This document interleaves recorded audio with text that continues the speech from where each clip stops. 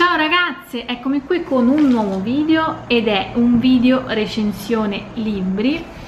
E non è un video molto seguito sul mio canale però c'è qualcuno che lo vede, siccome io leggo, siccome è una mia passione decido comunque di inserire questa tipologia di video. Periodicamente ogni volta che finisco di leggere un libro ve ne parlo. Come sapete se avete visto il video haul nel cui titolo cito proprio Selvaggia Lucarelli eh, sono andata alla presentazione dell'ultimo libro di Selvaggia Lucarelli ed è di questo di cui vi voglio parlare che si intitola 10 piccoli infami 10 piccoli infami, edito Rizzoli, l'ho pagato 17 euro, quindi prezzo pieno la presentazione, confidando nel fatto che me l'avrebbe firmato, ma poi non ho fatto in tempo, quindi ho deciso che la prossima volta rivado ad un incontro e faccio firmare questo e quello precedente. Eh,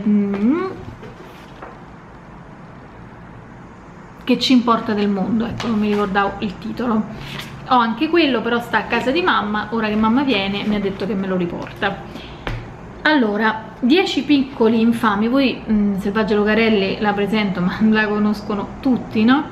io ci sono particolarmente affezionata perché lei è di Civitavecchia lei ha frequentato il mio liceo classico cioè io il suo perché lei è andata prima e mm, quindi il mio professore di filosofia e storia è stato anche il suo e tesseva le lodi di questa selvaggia, di come scriveva, lei infatti gestiva anche il giornalino della scuola, quindi eh, era stata presentata bene.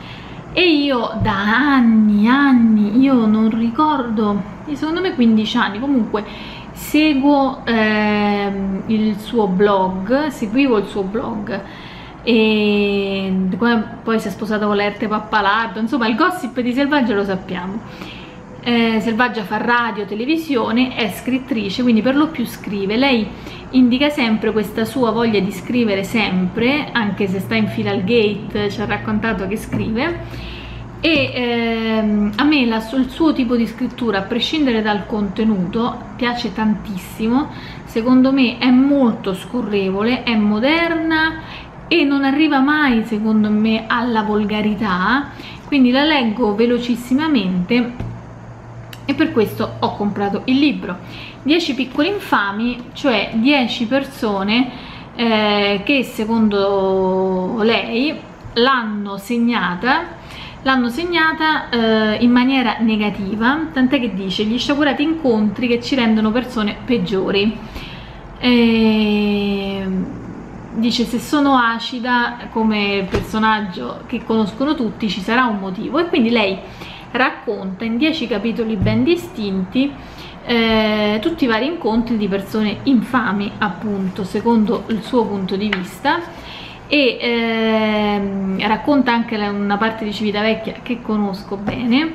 Quindi lei parla ad esempio di Suor, Suor Clelia quando andava ha fatto elementari medie superiori dalle suore e però Suor Clelia eh, gestiva le medie mi sembra e... o le superiori forse le medie. Comunque e quindi parla di Sor Clelia eh, che l'ha influenzato in un determinato modo. Mister Amuchina che è un suo ex fissato con l'igiene parla di del padre di un compagnetto che gli ha fatto eh, un un tentativo di molestia, parla di un'amica che lei credeva tale delle elementari ma poi non si è rivelata tale, insomma tantissimi personaggi, posso dire e confermare la scorrevolezza eh,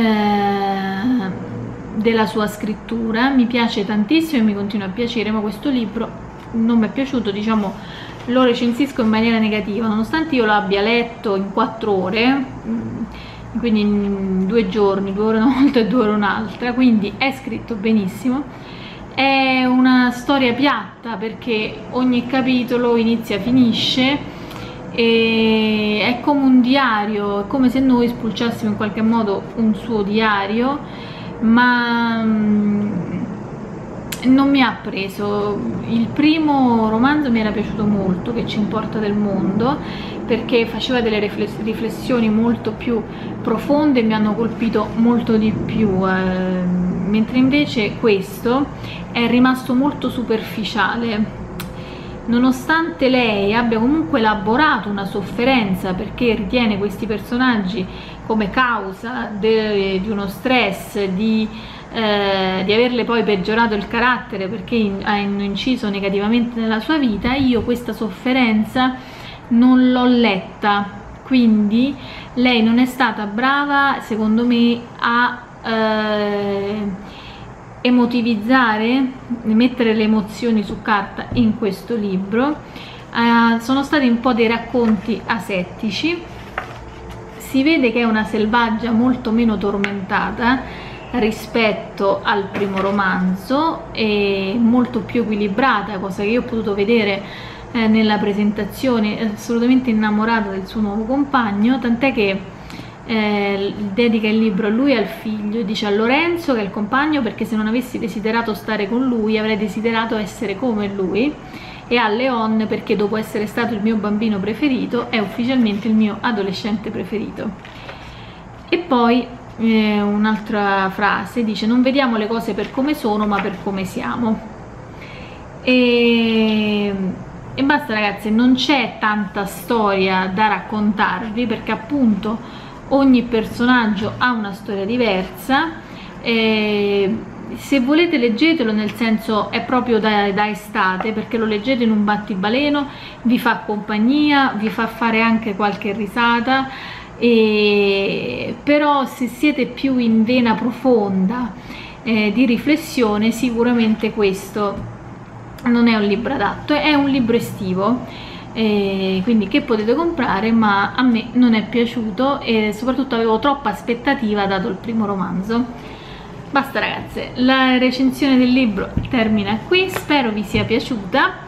E se l'avete letto ditemelo, ditemi i vostri pareri e, e basta, leggete l'info box, iscrivetevi al canale e noi ci vediamo alla prossima. Ciao ragazzi! Mua!